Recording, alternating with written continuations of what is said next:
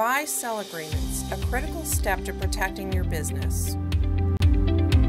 You and your partners have built a strong and prospering business.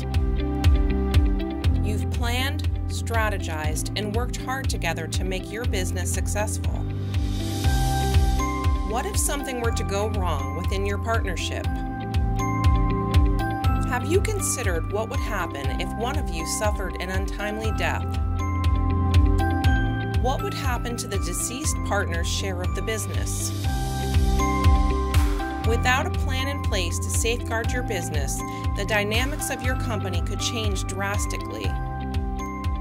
How would you feel about sharing decisions for your business with your partner's family members or even an ex spouse?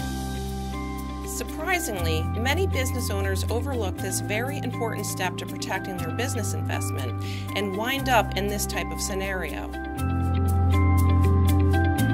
If you haven't established a formal plan for your business partnership, you've overlooked a crucial part of your business planning.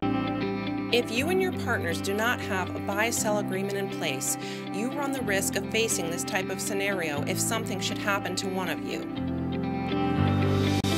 Find out more about what a buy sell agreement is, what the differences are, why you need one, and how to properly execute this very necessary part of your business protection plan. Don't leave your business unprotected. Contact VF McNeil Insurance today to speak with our life insurance specialist.